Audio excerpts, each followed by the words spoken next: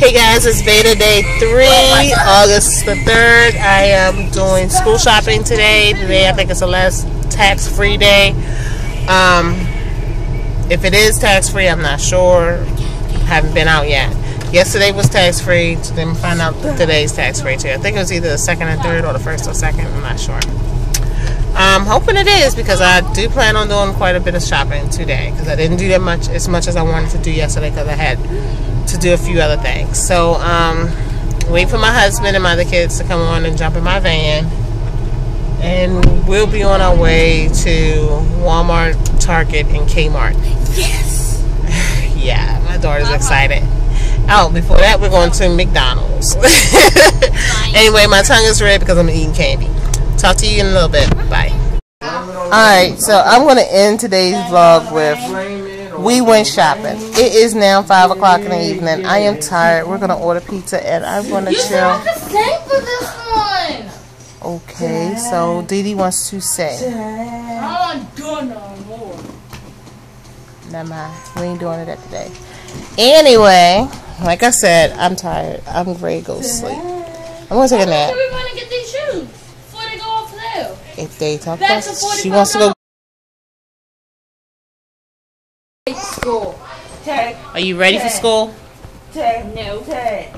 I mean, did I get everything? I got most of what's the stuff you. I got most of what you need for school so far. Some of what the stuff I got. I need. But okay, so we still ain't finished shopping now. We got a few more things. We got, I want to get these shoes before they go back to forty-five dollars. but you just got a pair of shoes today, so you need another pair. Huh? You just got a pair of shoes, but you need another pair.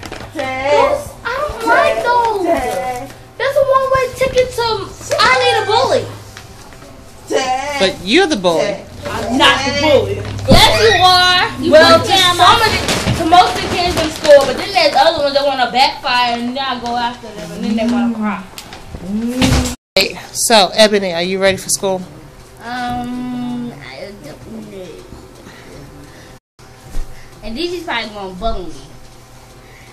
Over and over and over. This is gonna be your first year in middle school, right? Yes?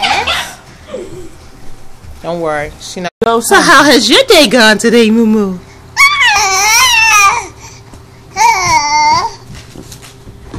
These are too good.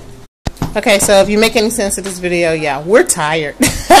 we got up early today. We've been shopping. We've been running around town. I have purchased uniforms, clothes for all the boys, girls. My high school daughter, my high school age, school age. She's in high school now. She's last year she wore uniform. Now she's wearing regular clothes. So I got clothes for her. We have gone eight dollars over budget, and I still haven't bought pencils, book bags for two of the kids, and I need to buy shoes again apparently. So yeah. Bye guys. See you tomorrow.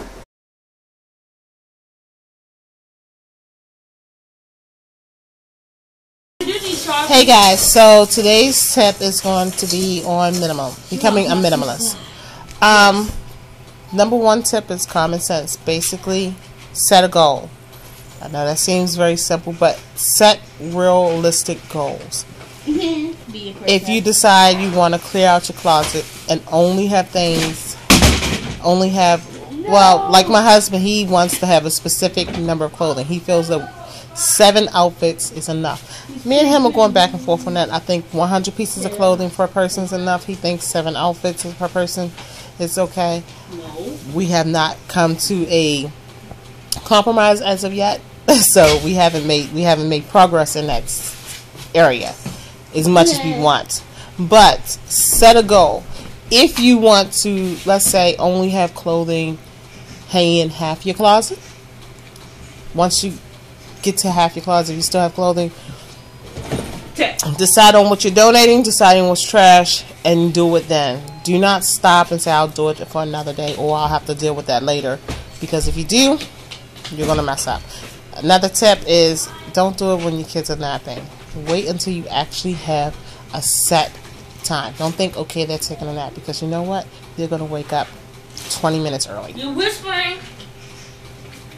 All right, guys. Bye.